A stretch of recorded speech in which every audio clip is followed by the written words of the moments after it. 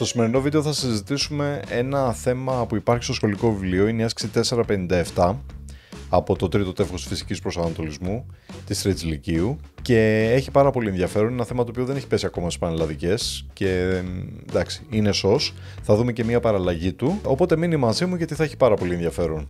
Πριν συνεχίσουμε να κάνω μια σημαντική ανακοίνωση, το Σάββατο 9 Νοεμβρίου στο Εμπορικό και Βιομηχανικό Επιμελητήριο Αθηνών θα γίνει μια ενδιαφέρουσα συζήτηση για το μέλλον της ανθρώπινης διαστημικής εξερεύνησης. Γίνεται υπό την αιγίδα του GRNSS και του Ασκληπιού. Στην περιγραφή του βίντεο θα βάλω ένα link. Αν το πατήσεις θα μπορείς να δηλώσεις και εσύ συμμετοχή. Λοιπόν, δες ένα κλιπάκι και γυρίζουμε στην άσκηση.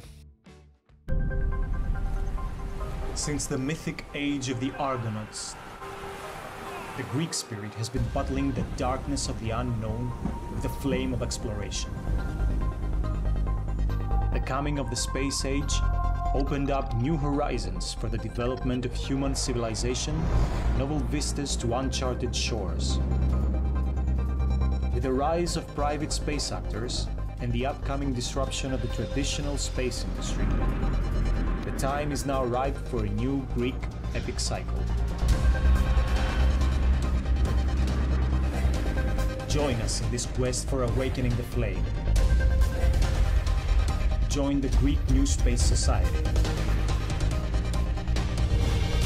Awaken the flame.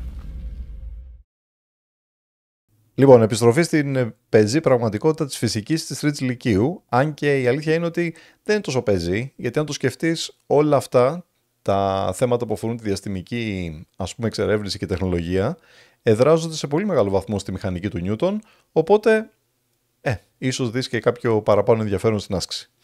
Λοιπόν, όπως έλεγα, αυτή είναι η άσκηση 457 του σχολικού και η ερώτηση είναι η εξής. Ε, μας ζητάει να βρούμε ποια είναι η ελάχιστη δύναμη που μπορούμε να ασκήσουμε στο κέντρο του τροχού έτσι ώστε ο τροχός να υπερπηδήσει το εμπόδιο, δηλαδή να περάσει πάνω από αυτό. Όπως είπα σε λίγο θα κάνουμε και μια παραλλαγή της άσκησης, οπότε μείνε μέχρι το τέλος. Λοιπόν, πρώτα απ' όλα πρέπει να σκεφτούμε τι δυνάμεις δέχεται η, ε, ε, ο τροχός. Οι δυνάμεις που δέχεται λογικά θα είναι η αντίδραση του εδάφους, ας την πούμε νη 1, η βαρύτητα, W, η δύναμη από την επαφή του με, τον, ε, με τη γωνία ας πούμε της, ε, του σκαλοπατιού, ας την πούμε νη 2, και φυσικά η δύναμη F. Τώρα ενδεχομένως να υπάρχει και στατική τριβή εδώ, αλλά όπως θα δεις επειδή θα υπολογίσουμε τις ροπές ως προς αυτό το σημείο, ε, δεν θα μας απασχολήσει γιατί όλες οι δυνάμεις που θα σκούνται στο σημείο αυτό θα έχουν ε, συνολική ροπή 0. Τώρα, ποιο είναι αυτό που πρέπει να σκεφτείς; Αυτό που πρέπει να σκεφτείς είναι τι θα συμβεί όταν ο τροχός σηκωθεί από το δάπεδο. Λοιπόν, όταν ο τροχός σηκωθεί από το δάπεδο, προφανώς η αντίδραση του εδάφους στο σημείο αυτό θα μηδενιστεί. Άρα ουσιαστικά θα απομείνει η F, η W και οι δυνάμεις που ασκούνται στην ε, ροζ αυτή περιοχή, στην κόκκινη, στη ροζ κουκίδα. Το μόνο που χρειάζεται να κάνουμε είναι να υπολογίσουμε τη συνοσταμένη των ροπών, που φυσικά θα κάνει 0, ως προς το σημείο αυτό. Ας το ονομάσουμε, ξέρω εγώ, σημείο α. Λοιπόν, εδώ θέλει λίγο προσοχή στα μαθηματικά. Από ροπές λοιπόν έχουμε τη ροπή της F και τη ροπή του βάρους. Ξαναλέω, είναι η 1 έχει μηδενιστεί και όλες οι δυνάμεις που ασκούνται στην, ε, στο σημείο α δεν έχουν ροπή γιατί ασκούνται στο σημείο α. Άρα είναι η ροπή της F ως προς το α και η ροπή του βάρους ως προς το α. Αυτό πρέπει να κάνει 0. Συνεπάγεται. Λοιπόν, θα θεωρήσουμε θετική φορά περιστροφής αυτή. Οπότε και θα ακολουθήσουμε παρεπιπτόντως την, ε, ε, τον υπολογισμό της ροπής με τη βοήθεια του φορέα. Λοιπόν, πάμε στη δύναμη F. Εδώ θέλει προσοχή και ο λόγος που κάνω την άσκηση είναι κυρίως αυτός. Αυτός είναι ο φορέας της F και αν δεις αυτή εδώ είναι η κάθετη απόσταση. Ας την ονομάσουμε αυτή την απόσταση D1. D1. Πόση είναι όμως αυτή η κάθετη απόσταση; Αν δεις όλη η απόσταση μέχρι κάτω, όλο αυτό εδώ, θα είναι το R. Γιατί θα είναι η ακτίνα του κύκλου, η ακτίνα του δίσκου. Και αυτό εδώ είναι το h, είναι το ύψος του σκαλοπατιού. Οπότε το d1 σε πρώτη φάση θα είναι r πλην h. Άρα για τη μεν ε, ροπή της f θα έχουμε η δύναμη f επί ανοίγει παρένθεση και το d1 θα είναι r πλην h. Αυτό είναι το εύκολο της υπόθεσης. Πάμε τώρα στη ροπή του βάρους. Ο φορέας του βάρους είναι κατακόρυφος έτσι και η κάθετη απόσταση, ας την κάνουμε το ίδιο χρώμα, καλά τέλος πάντων δεν έχει σημασία, λοιπόν και η κάθετη απόσταση από το σημείο περιστροφής θα είναι αυτή εδώ. Ας την ονομάσουμε αυτή την απόσταση D2 και τώρα πρέπει να την υπολογίσουμε γιατί η ροπή του βάρους θα είναι πλην, γιατί πάει να στρίψει την, ε, ε, τον τροχό ανάποδα, W επί D2. Και πρέπει να υπολογίσουμε το D2, αυτό το κομματάκι εδώ. Τώρα για να το υπολογίσουμε πρέπει να σκεφτούμε να φέρουμε την ακτίνα, δηλαδή αυτήν, με αποτέλεσμα να δημιουργηθεί εδώ αυτό το τρίγωνο.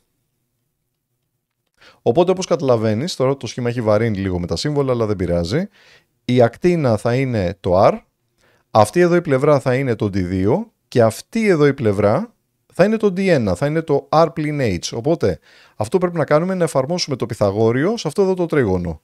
Για να το εφαρμόσουμε λίγο, ας το κάνω εδώ το τετράγωνο της υποτείνουσας, δηλαδή R τετράγωνο, θα ισούται με το τετράγωνο της μία κάθετης πλευράς που θα είναι το R πλην H στο τετράγωνο, ξαναλέω αυτό είναι το D1, συν αυτό που ψάχνω που είναι το D2 τετράγωνο.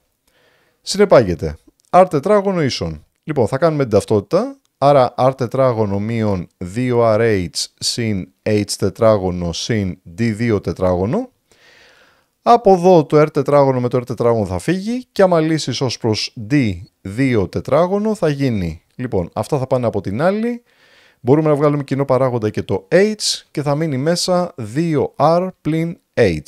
Και έτσι το D2 βγήκε τετραγωνική ρίζα του H επί ανοίγει παρένθεση 2R πλην H. Καταλαβαίνεις ότι από τη στιγμή που δεν έχουμε αριθμούς ή σχέσεις θα έχουμε πάρα πολλά σύμβολα. Τώρα, στις εξετάσεις ενδεχομένως κάποιος θα είχε βάλει σχέσεις μεταξύ των αποστάσεων. Ξέρω εγώ, θα είχε πει ότι το ύψος είναι το μισό της ακτίνας, για παράδειγμα, ώστε να γίνουν και πιο εύκολα εδώ οι πράξεις. Ε, το κάνω ακριβώς όπως το έχει το σχολικό, μόνο και μόνο για να το δεις. Οπότε, αν συνεχίσουμε λίγο το προηγούμενο, θα έχουμε ότι η δύναμη F θα ισούται. Αν πάει αυτό από την άλλη πλευρά, θα είναι W επί. Το D2 είναι αυτό, άρα ρίζα H επί 2r πλην h προς και ο παρανομαστής είναι r πλην h. Άρα, για οποιαδήποτε τιμή από τόσο και πάνω, μεγαλύτερη ίση από αυτήν εδώ την τιμή, ο δίσκος θα υπερπηδήσει το εμπόδιο. Καταρχάς, να δούμε αν βγήκε σωστό, γιατί πολλές πράξεις είναι ρίζα... Ε, ναι, h επί 2r πλην h, μια χαρά είναι. Λοιπόν, και έτσι λοιπόν για οποιαδήποτε τιμή από εδώ και πάνω, ο δίσκος υπερπηδά το εμπόδιο. Τώρα, να πω μια παραλλαγή αυτής της άσκησης που έχει πάρα πολύ ενδιαφέρον. Α υποθέσουμε ότι σου έδινε ακριβώς την ίδια άσκηση, μόνο που αντί να σου πει που θα βάλεις τη δύναμη, σου πει το εξής. Να βρείτε σε ποιο σημείο πρέπει να ασκήσετε τη δύναμη και ποια πρέπει να είναι η ελάχιστη δυνατή τιμή της, ώστε ο, η, και πάλι ο τροχός να υπερπηδήσει το εμπόδιο. Πού πρέπει να πάτε να ασκήσετε την F έτσι ώστε να έχουμε την ελάχιστη δυνατή δύναμη και ο τροχός να σηκωθεί από το έδαφος και να ε, υπερπηδήσει το εμπόδιο. Ε, εντάξει, το βάρος θα συνεχίσει να υπάρχει εδώ, προς τα κάτω. Τις δυνάμεις που είχα βάλει πριν, την αντίδραση εδώ και τις δυνάμεις εδώ δεν θα τις βάλω, γιατί όπως είπαμε δεν παίζουν κάποιο ρόλο. Αυτή θα μηδενιστεί και εδώ, επειδή θα μετρήσουμε τη ροπή ως προς αυτό το σημείο, όλες οι δυνάμεις θα μηδενιστούν. Οπότε τώρα πρέπει να σκεφτούμε πού πρέπει να βάλουμε τη δύναμη έτσι ώστε να προκαλέσει τη μεγαλύτερη δυνατή ροπή. Γιατί εφόσον η ροπή είναι το γινόμενο της δύναμης επί την κάθετη απόσταση, εμείς θέλουμε να υπολογίσουμε την ελάχιστη δυνατή δύναμη, άρα η απόσταση πρέπει να είναι η μεγαλύτερη δυνατή. Σωστά. Λοιπόν, ποια είναι η μεγαλύτερη δυνατή απόσταση που μπορώ να βάλω την F; Εδώ για παράδειγμα. Εδώ. Εδώ. Εδώ. Η μεγαλύτερη δυνατή απόσταση προφανώς είναι εδώ. Όταν η απόσταση είναι 2R. Έτσι, γιατί πρέπει να σκηθεί πάνω στον τροχό. Άρα η μεγαλύτερη δυνατή απόσταση είναι αυτό το 2R. Ένα το κρατούμενο. Τώρα, δεύτερον, πώς πρέπει να ασκήσω τη δύναμη; Προφανώς, για να έχει τη μεγαλύτερη δυνατή ροπή, πρέπει να ασκηθεί κάθετα στην απόσταση. Άρα η F πρέπει να ασκηθεί έτσι. Και αυτή είναι η ελάχιστη δύναμη. Πρέπει να ασκηθεί όσο το δυνατόν πιο μακριά γίνεται και πρέπει να ασκηθεί και κάθετα στην απόσταση, ώστε να έχει τη μεγαλύτερη δυνατή ροπή. Από εδώ τα πράγματα θα είναι εύκολα διότι η συνισταμένη των ροπών και πάλι ως προς το σημείο α θα πρέπει να κάνει 0. α είναι το σημείο αυτό. Εδώ μάλιστα είναι και η διαδικασία πολύ πιο γρήγορη διότι η ροπή της f θα είναι f επί 2r μείον και το βάρος θα είναι και πάλι w επί Το βάρος όπως είπαμε είναι έτσι. Η κάθετη απόσταση είναι αυτή εδώ. Ας το κάνω λίγο να φανεί. Λοιπόν, ο φορέας του βάρους είναι αυτός. Η κάθετη απόσταση θα είναι αυτή. Και φυσικά θα είναι, πώς το είχαμε ονομάσει πριν, τη 2. Για να το δω. Ε, το είχαμε ονομάσει τη 2. Και βγαίνει αυτό το ρίζα h επί 2r πλην h. Λοιπόν, αυτό εδώ θα ήταν το D2. Οπότε θα ήταν ε, ίσο με το 0 και έτσι θα προκύψει ότι η δύναμη F, η ελάχιστη τιμή της δύναμης F, η F minimum, θα είναι W επί D2 προς 2R. Εντάξει, θα βάλεις όπου D2 αυτό που βάλαμε πριν, που βγάλαμε πριν, το ρίζα H επί 2R πλην H και έχεις βρει την ελάχιστη δύναμη. Ε, εδώ δεν είναι, δεν είναι θέμα το, τα μαθηματικά, εδώ είναι θέμα το να σκεφτεί κάποιος πώς θα πρέπει να βάλει και πού πρέπει να βάλει τη δύναμη F. Έχει, είναι μια πάρα πολύ ωραία παραλλαγή της άσκησης του σχολικού. Λοιπόν, αυτά. Θυμήσου την ε, ανακοίνωση για το Σάββατο και για την ε, συζήτηση. Θα ξαναβάλω λίγο εδώ να δεις το, ε, την ε, αφισούλα.